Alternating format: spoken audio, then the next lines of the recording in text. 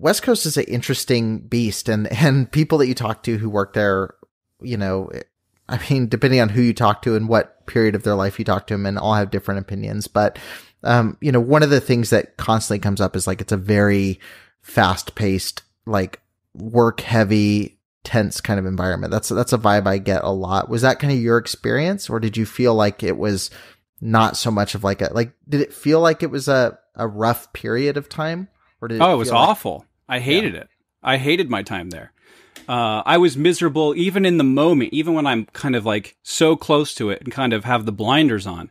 I was very conscious of of how miserable I was. Uh, they they really were working us to death, you know. Um, and and it was even explicitly said to the staff things like, "You're not doing ministry till you've passed 40 hours a week." And so, like, they expected you, like, 40 hours a week, what they're paying you for. It's your bare minimum. Is yeah. the bare minimum. And, you know, you should really be doing double, like, double that if you're truly serving the Lord. So yeah, that it was an, an, a very intense environment, and that came straight from the top. You know, Paul Chappell's just an intense dude. He's uh he's very domineering, very intimidating. You know, I still remember being in those Friday staff meetings and everybody's, you know, there's a buzz in the crowd as everybody's talking, and then the doors fly open, and here comes Paul, like he's the freaking president of the United States, and a hush falls over the crowd, you know, because there's the man of God. And, you know, sometimes he was just in a mood and he would rip us, you know, and, and he would tell us on a regular basis stuff like, until each of you wins 10 tithing members, 10 tithing families, you are a liability and not an asset to this ministry, you know? And so it was an interesting, like, wow, what an interesting way to look at the church members, you know, basically as a form of revenue, which of course they are in practical terms. But it was just like that. That was the emphasis. It's like not that's ten souls. It's ten tithing members. You know. Absolutely. Yeah. And so yeah, it was an intense environment and uh, you know, I had I had a few run-ins uh, that kind of soured soured me to to West Coast and to particularly to uh, to Lancaster Baptist. You know, I, I maybe he he was well intentioned, I but I think that Paul Chappell wanted to crack the whip on me. He really wanted to, you know, whip me into shape. And you know, man, my very first week on staff, I thought I had arrived because you know I spent the time in Bible college thinking like going on staff at, at Lancaster Baptist is the pinnacle of ministry, and here I had been asked to be on staff, and I was like, man, I, have arrived. So I'm in my classroom and uh, teach teaching my very first week of of school, and if you back up two weeks before that, me and this guy named Bo Johnson had made this music video. He he made up this silly song about basically asking, trying to trying to date in Bible college, and uh, we made this music video. That this is before Facebook really. It kind of went viral just by students on campus sharing it like by USB drive. And so this this video spread like wildfire and it was really funny and and totally tame. But the music director there, Les Wall, uh, super conservative dude he was not happy when he when he saw that video. And so what what happened, long story short, was he phoned up Paul Chappell and was like, "Hey, one of your staff members has made this music video that's like sensual and all this kind of stuff." And so Paul Chappell uh, told Brother Weaver, who is the dean of men, he's like, "Tell Andrew that he needs to write me a letter detailing detailing all the reasons he should remain on staff. This is my first week there. And come to find out later, he hadn't even seen the video yet.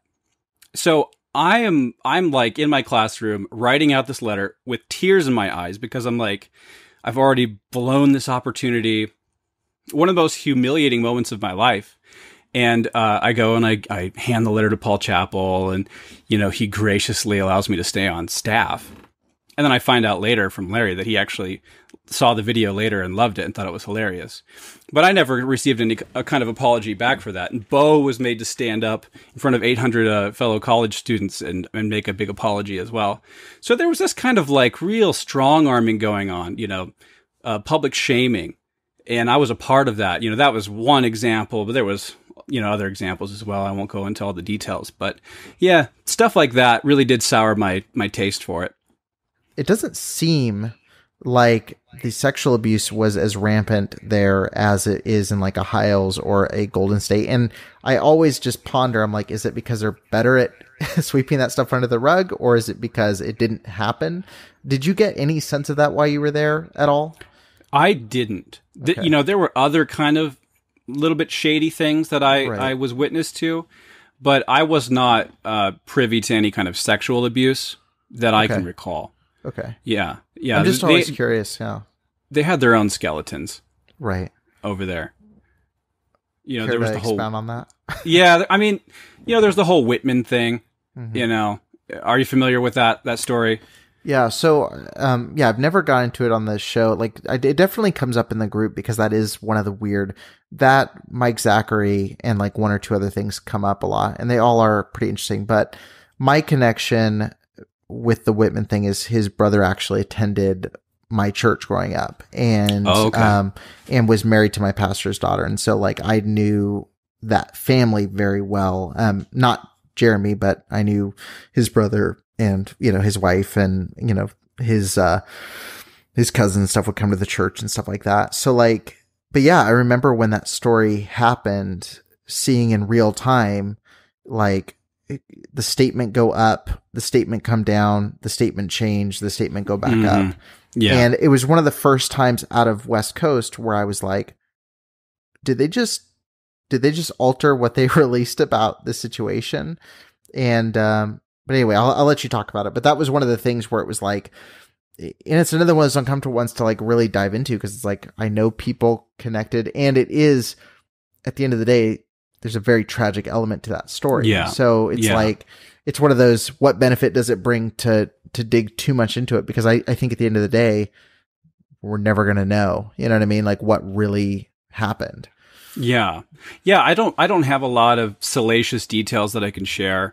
Um, d- just in summary, you know, I was disappointed with the way that it was portrayed to the public because, yeah. you know, having been on staff and having been close with the Chappell family, I knew just just how integral Jeremy Whitman was to that ministry. Yeah. I, I, mean, he was at the Chappell's house nearly every day.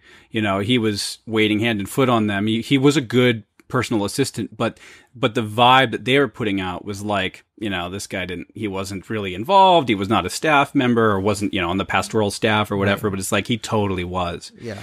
So it was it was definitely some kind of like, uh, you know. Mm, a little bit of deceitfulness. Yeah. Well, I remember when that news broke. Um, and like, I just remember reading the article and then reading the statement.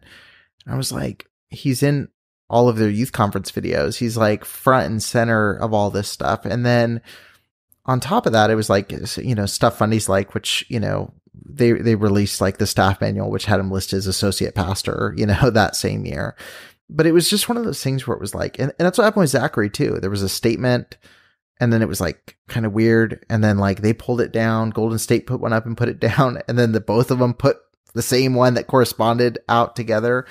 It was just really weird. But like that's the that's the thing with, and I, I want to go back to this because this is kind of all ties together. Is like when you talk about Chappell, the vibe that I get, and I talk with people about this sometimes, is like he is one of those guys who would have easily made it in corporate America. Like if he had done, if he wanted to build a Fortune 500 company, he definitely could have. Yeah. Um, but with West Coast, you know, I and I wish he these, had. By the way, right. I wish well, that's he, what he had done. Well, he kind of did just build a big business out yeah. in the in the desert, but it's one of those things where it's like I feel like West Coast is kind of safe from a lot of the sexual abuse stuff because of like how big of an adverse effect that would have on the ministry. You know what I mean? Like it feels like West Coast more than Hyles because like Hyles just earnestly does like really bad stuff. I feel like West Coast, yeah, it's keeping the brand alive. Like we are this very tight ship.